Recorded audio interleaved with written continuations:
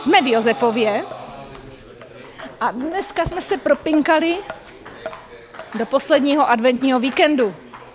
Stolní tenis a Josefov k sobě neodmyslitelně patří. Poslední adventní víkend roku 2022 jsme zahájili právě zde a tentokrát sportovně.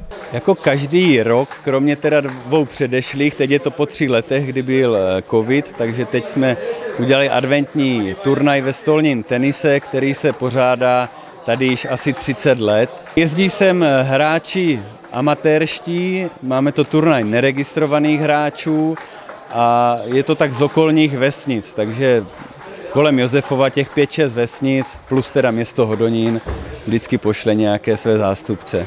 Eh, kolik se letos zúčastnilo hráčů? Letos přišlo tedy 19 hráčů, což je takový slabší průměr. Maximum jsme měli 36, ale jsme rádi, že i těch 19 je to taková rodinné setkání a z každé obce je tady nějaký zástupce. Vy jste i trenér stolního tenisu v Josefově. Jaké máte zázemí v obci? Trénujeme úterý čtvrtek, vždycky od půl paté do půl osmé, kdy vlastně nejprve jsou děti a pak jsme jakože my dospělí, my hrajeme teda závodně a děti vozíme eh, na turnaje. Kolik dětí nebo celkově kolik hráčů je v klubu stolního tenisu v Josefově? Tak eh, je nás teda celkem 16 a máme to letos teda 8 dospělých a 8 dětí, kdy z toho 4 děti jsou registrované, které už jako něco umí, tak jezdí po turnajích, mají teda nějaké úspěchy, takže eh, je to dobrý a čtyři jsou takoví, kteří začali letos. No a my dospělí hrajeme soutěž, hrajeme na Hodoninsku třetí nejnižší, což je teď okresní přebor a jsme teda první, takže chceme postoupit do okresní ligy. No. Sport všeobecně je v obci Josefov hodně podporován. Pane starosto, jak jsou na tom občané Josefova se sportem? Tak Josefáci jsou na to velmi dobře, eh, protože tady se sportovalo od nepaměti. Primárně v Josefově tady velkou tradici a hlubokou má stolní tenis, teda ping-pong. Od dob eh, pana Sterka, který nás tady, pana Sterky, který nás tady trénoval, teď trénuje tady pan Marek Macůrek a my jsme tomu rádi, protože ping-pong je krásná hra a rozvíjí jak, jak fyzickou zdatnost, tak, tak i myšlení. Jaké další sporty jsou populární v Josefově? Tak v Josefově samozřejmě tak jako všude je populární fotbal. E, nikdy jsme tady neměli registrovaný klub, ale v Josefova se rekrutovalo spoustu šikovných fotbalistů, tady, tady, kteří hráli po okolí. Teď je tady populární, jsou kuželky, ty naši kuželkáři hrají v Rušankách odborářskou ligu. Měli jsme tady šikovné hokejisty, takže pelmel sportovců se tady rekrutovalo z Josefova, ale nejpopulárnější samozřejmě stolní tenis, fotbal, teď kuželky a i volejbal.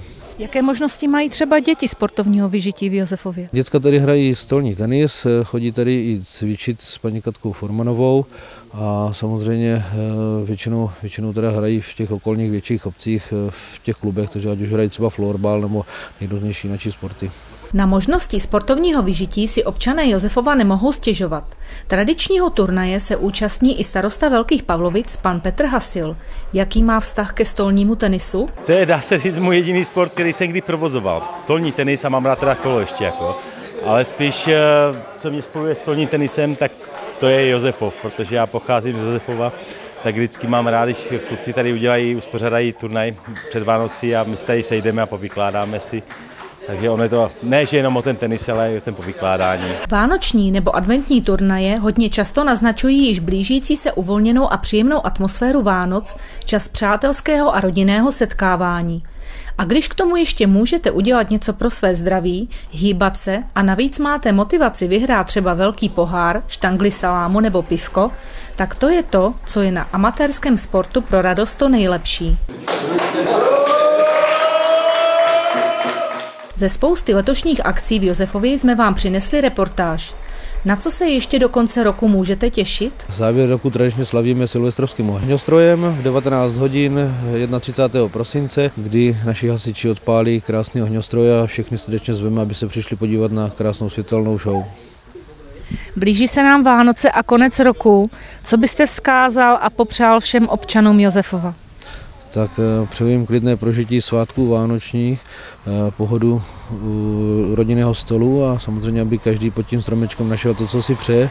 A do nového roku přeju všem Josefákům, a nejenom Josefákům, ale všem hlavně pevně zdraví a, a pohodu, eh, ať už, ať už doma, anebo samozřejmě ve svých pracích.